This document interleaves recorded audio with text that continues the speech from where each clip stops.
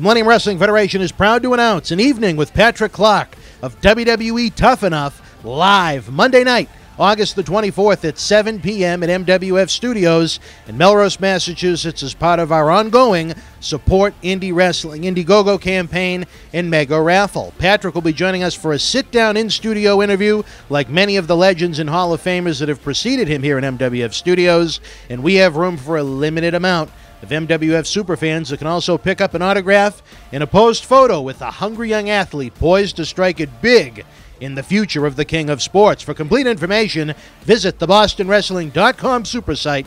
We'll see you live August the 24th.